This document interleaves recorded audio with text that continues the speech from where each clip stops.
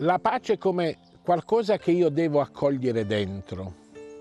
E ieri nella puntata eh, con cui abbiamo iniziato quest'ultimo scorcio che ci porterà fino al termine di questo mese e quindi al termine di tutto il cammino che abbiamo fatto in quest'anno televisivo che è iniziato il 14 settembre del 2021 e terminerà il 30 di giugno di quest'anno, ieri eh, vi ho invitato a leggere, a scoprire il gusto della lettura e eh, io vi ho consigliato un testo, quando il maestro parla al cuore di Gaston Courtois, che è un testo appunto eh, di grande spiritualità.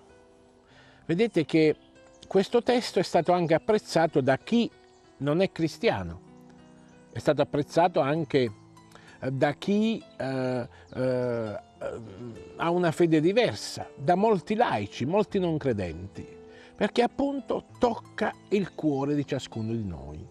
E voglio leggervi oggi proprio una riflessione che eh, padre um, Gaston fa riguardo alla pace. Sii nella pace, quindi stare nella pace. Mantieni l'anima serena anche in mezzo ai risucchi dell'attualità, degli imprevisti e degli avvenimenti.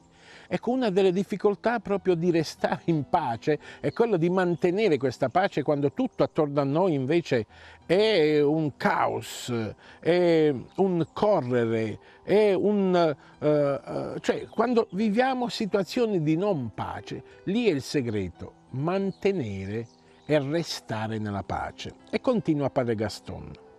Ricevi nella calma il mio messaggio attraverso questi portavoce dai, dai modi talvolta invade, invadenti e brutali.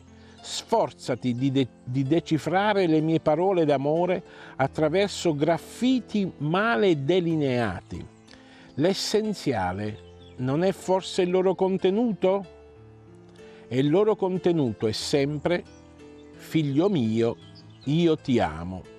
Chiaramente nello stile di padre Gaston è il maestro che parla al cuore, ecco perché eh, vi è questo, um, questo, questo stile di parlare direttamente alla persona.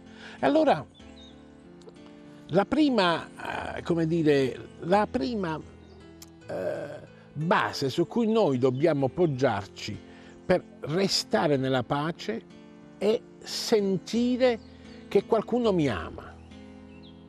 Per noi credenti è sentire e riscoprire che Gesù mi ama. Per chi non crede è sentire l'amore, perché l'amore è ciò che ci rende tutti, eh, tutti uguali, simili. L'amore, come penso io, eh, è ciò che Dio ha messo a tutte le donne e a tutti gli uomini del mondo, sia che credi sia che non credi. Se l'uomo è capace di amare è perché qualcuno ci ha messo dentro questo, questa capacità. E allora sentire nel cuore queste parole, figlio mio, io ti amo, questo potrà dare pace a me e a te. Noi ci vediamo domani, Padre Pio TV dritto al cuore. Ciao!